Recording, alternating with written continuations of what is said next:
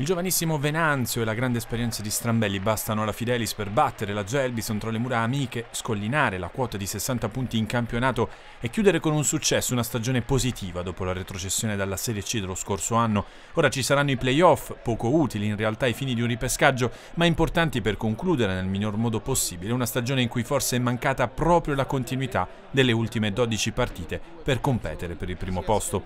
Vittoria che ha comunque molti significati, vedere all'opera calciatori meno impiegati in stagione come Tavoni, a cui Scaringella affida dal primo minuto l'esordio stagionale e le chiavi della difesa a sinistra, mettere minuti nelle gambe per i rientranti Feole e Giambuzzi, ritrovare sorrisi e abbracci con Strambelli e Silvestri, reintegrati in rosa in settimana.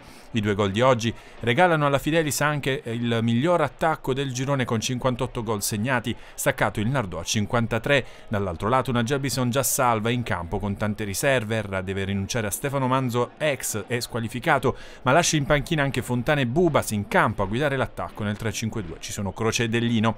Pronti via e il classe 2005 Venanzio fa tutto bene e lascia partire un sinistro chirurgico che si infila alle spalle di Cervellera. Primo gol per il giovanissimo esterno tra i senior e Fidelis che continua a veleggiare nella metà campo della Gerbison sino all'alba del ventesimo minuto, quando arriva vicinissimo al 2-0 e Giambuzzi a crossare preciso in aria da sinistra, ma proprio Venanzio, tutto solo, si fa respingere il tiro da Cervellera. La squadra di Erra però non ci sta e alza decisamente il baricentro, sfruttando anche un po' di rilassamento della squadra di casa. Gagliardi ci prova dal limite, palla bloccata da Baietti in due tempi, si divora il pareggio alla mezz'ora l'ex Antonio Croce, partito sul filo del fuorigioco e a tu per tu con Baietti che gli chiude bene lo specchio in uscita. De Pace, sugli sviluppi di un corner, colpisce di testa sul fondo, ancora di testa, questa volta Croce la alza troppo su assist di sicurezza Fiorella, la Fidelis si fa rivedere dalle parti di Cervellera grazie al tocco intelligente di Bottalico per la corrente Giambuzzi, tiro di prima intenzione, palla alta.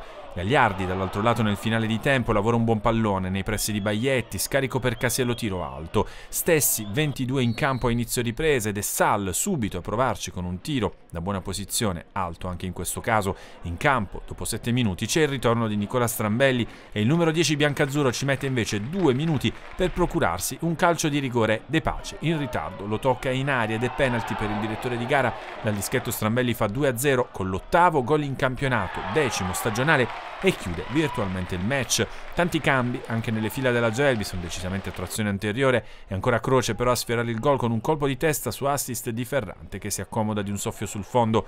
Il nuovo entrato Barone prova un pallonetto su Baietti in uscita ma non inquadra lo specchio. Strambelli alla mezz'ora con l'esterno illumina per l'inserimento con i tempi giusti di Venanzio, tocco ravvicinato e Cervellera salva tutto. Ancora Strambelli, serve al centro un pallone che Giambuzzi colpisce di testa, palla che si stampa sull'incrocio dei pali della porta di Cervellera.